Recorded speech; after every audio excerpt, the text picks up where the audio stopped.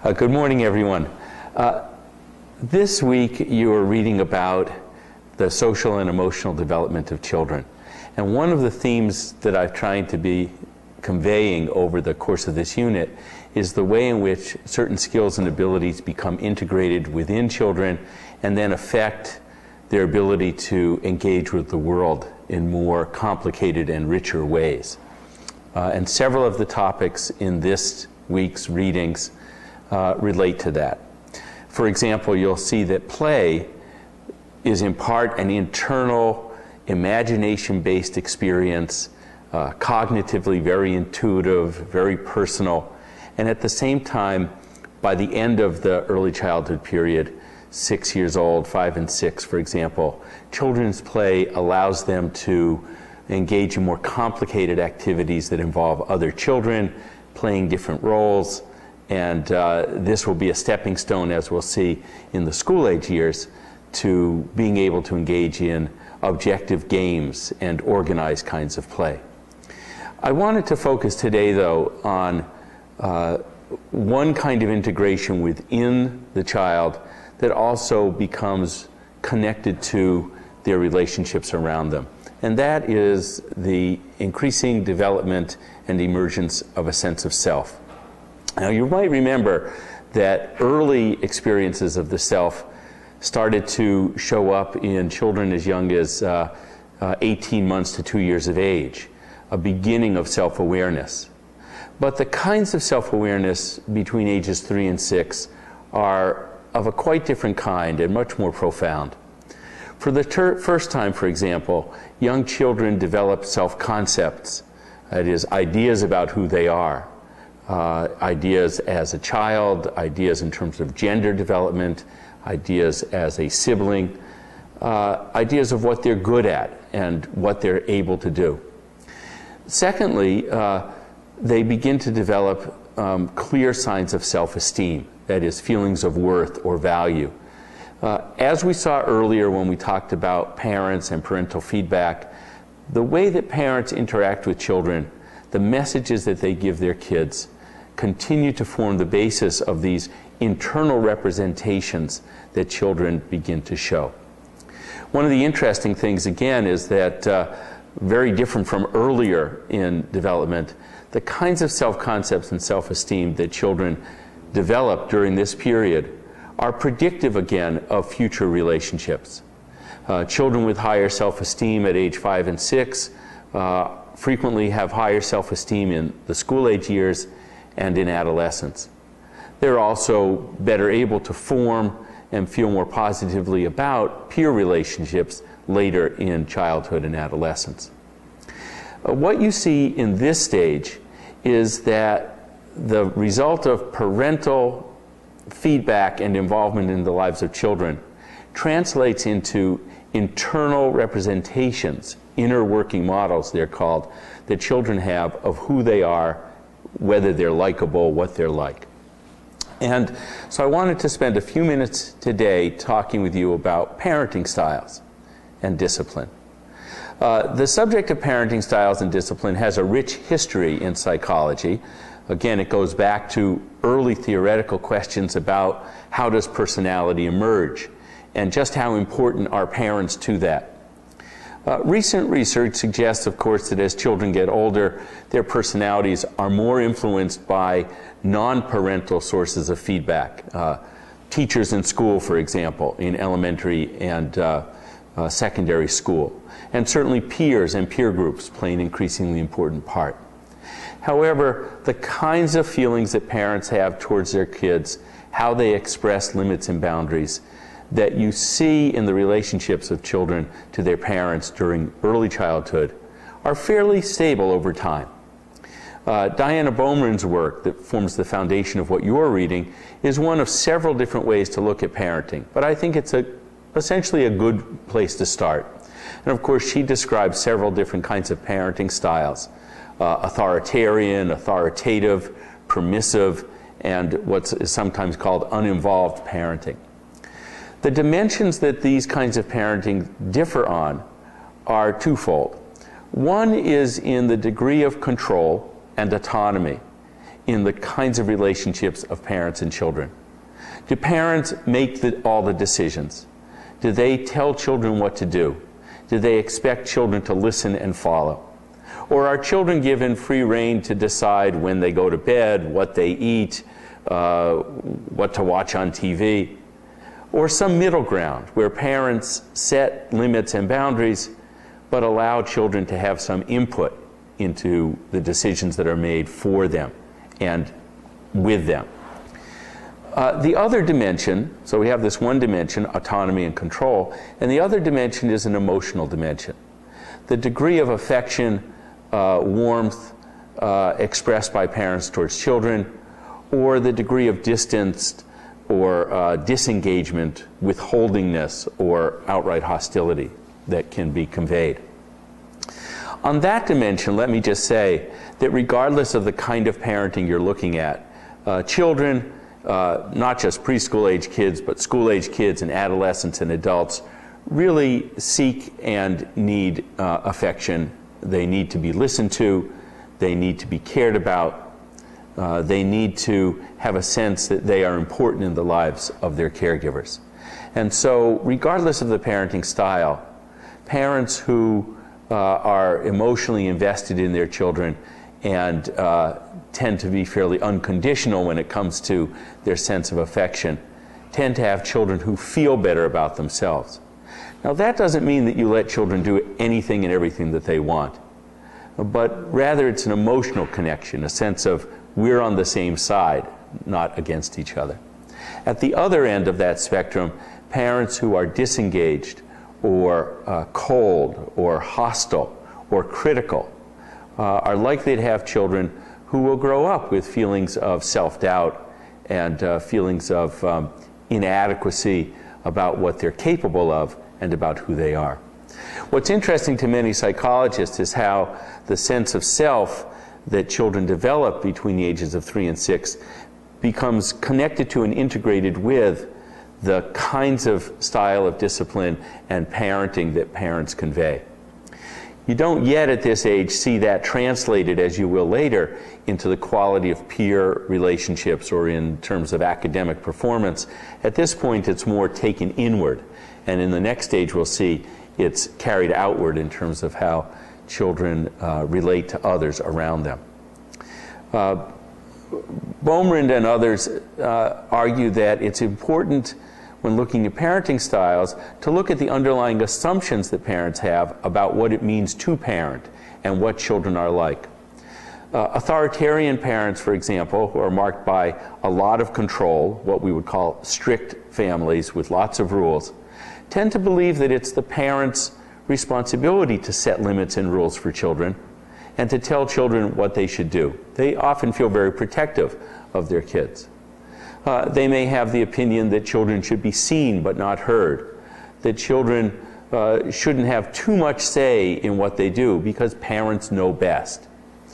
Uh, and they may believe further that uh, children periodically need to know who's the boss, who's in charge, and that parents have the responsibility to let their kids know that, particularly through the use of uh, punishment or spanking or some way in which the child is uh, focused and attentive to who's the boss. Um, interestingly, most psychologists uh, in this area would tell you that uh, spanking is not a particularly good idea, that uh, intimidation or physical punishment of children tends to have effects that you don't really want to um, uh, have on children. It may get them to follow rules, for example, but it doesn't teach them that much about why they are following that rule beyond the fact that uh, someone with more power is making them. And in fact, when you look at discipline, the kind of discipline often associated with authoritarian households is what's called power assertive discipline, where parents exert their power to make decisions and force behavior. Baumrind and her colleagues tend to encourage and find most healthy what psychologists call the authoritative method of parenting. And that's one in which children uh, are given explanations for rules, they are uh, praised and encouraged and supported in their behavior, and uh, uh, that punishment occurs very infrequently. Uh, their argument is that when you reward children for consequences or behavior that you wish to see, there's less likelihood that those same children will misbehave. And in fact, a lot of research bears them out. Children who are praised for the behavior that they're doing, that they're supposed to do, or who are encouraged to engage in quote unquote pro social behavior, uh, tend in fact to misbehave a lot less and to receive a lot less negative attention. So um, rather than a power assertive kind of discipline, these parents, uh, authoritative parents, tend to use what psychologists call inductive techniques. Uh, to induct somebody means to enter them into the relationship, usually using praise and reward and encouragement as opposed to paying attention when a child misbehaves. One of the interesting things to think of as a parent or a person is what do I mean by discipline? Do I think that discipline is what you do when a child misbehaves, or do I think that discipline is what you do when a child is behaving the way you want them to? Uh, see how you want to answer that question. One other thing about discipline and intervention. Another question to ask yourself is Do I use discipline to inhibit a behavior, or do I use discipline to redirect a behavior? Discipline that's meant to inhibit is essentially meant to stop something that's going on now without that much attention to replacing it with something else. Whereas discipline that's aimed at redirecting a behavior tends to offer an alternative or a direction that the child can go in. So again, ask yourself in terms of your views of discipline, how do you see it and when do you use it? Well, I'll go to the punchline and tell you that authoritative parenting styles seem to be the most effective at providing clear limits, number one, guidance and choice, and directing behavior in ways that can lead to better feelings about oneself and more positive self concepts. A word about permissive and uninvolved parenting um, before I end today. Many permissive parents, again, are permissive because they believe in the value of uh, allowing children to be themselves, to do as they wish, uh, to uh, express themselves, if you will. In fact, as an American value, uh, this is a very common part of how we see growing up. That is, we tend to see growing up as a process of increasing self expression and self reliance. Uh, we promote individuality as a, uh, a goal of being mature. And many parents who are permissive are quite loving and caring of their kids, but their parenting is what might be called child centered. That is, they let the child take the lead. Oh, what do I care if he has this for breakfast or that for breakfast? Or what do I care if he wants to wear these clothes or that clothes? Uh, the positive side of that, particularly when linked with affection, is that children often feel very uh, good about themselves. They can feel very um, uh, centered uh, in the family, that they're very important. But some of the unintended consequences are that children often have somewhat more difficulty setting their own limits and boundaries, and they, they may be more prone to, uh, if not tantrums, a, a, demanding or stubbornness about them. Or in later relationships with other kids, studies suggest that uh, kids in permissive households have a bit more trouble getting along with other kids because they're not used to being flexible and negotiating. They're used to having their way, to speaking their mind. Uh, and so while we have a discipline style that promotes individuality, it may not help in the important ways that are necessary for people to get along with each other and uh, negotiate and take turns and share things. Uninvolved parenting, by contrast, usually involves some kind of failure on the part of parents to pay sufficient attention to their children and provide them with adequate feedback. At one point in the chapter that you're reading, you're reading, for example, about maltreatment of children. And certainly one kind of maltreatment of children is neglect. Now, there are a lot of reasons for neglect. In fact, many of them are understandable um, poverty, uh, economic instability, emotional insecurity. Uh, these kinds of things can um, produce a kind of inattentive or neglectful state. But uh, studies suggest that children really need to be recognized by their parents, number one, and number two, recognized in positive kinds of ways that validate who they are. And the children whose parents are disengaged or uninvolved or who don't seem to care tend to internalize in children a sense that perhaps it's not worth their being cared about. It diminishes their sense of self concept and self esteem. Now, Erikson's way of talking about this, and the last thing I'm going to mention for today, is to describe it in terms of what he calls initiative versus guilt, where a balance has to be made between allowing children to express initiative, that is, purposeful behavior uh, that they take the lead in, without feeling undue guilt. Um, guilt is an interesting kind of emotion. It's uh, a feeling about oneself when one has broken some kind of rule or boundary, whether other people know that you have or not. Uh, lying would be an example, uh, where others may not know if you have lied, but you know. Uh, children have to both be sensitive to the fact that uh, uh, they can control what other people know about them and what they do, and yet they have to be self controlling. That is, maintain their behavior in socially appropriate boundaries and feel good about themselves. Now, a positive kind of guilt is, for example, a sense of initiative associated with feeling pride or feeling accomplishment or feeling good that you've done something. And in fact, uh, much of the conscience that gets developed in the preschool years is a positive kind of conscience, not a negative one. Erikson suggests that parents who use inhibitory discipline too much or are too strict may leave children feeling a sense of guilt about any kind of self expression.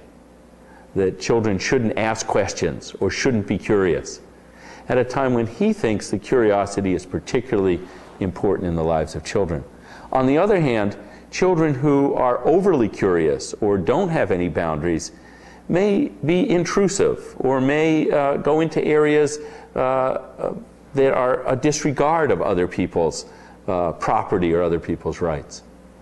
So, again, many psychologists feel that that authoritative pattern in which parents provide firm boundaries and also encourage positive behavior allows for the best balance of curiosity and inquisitiveness and initiative on the one hand, and a healthy sense of constraint and inhibition and guilt on the other. Well, uh, I'll leave you to read about these topics during this week, but uh, as you do, uh, I hope you'll come away with it with a better sense of how, by the end of this period, children have personalities. They have thoughts and feelings about themselves which are surprisingly stable over the course of the remainder of childhood. See you next week.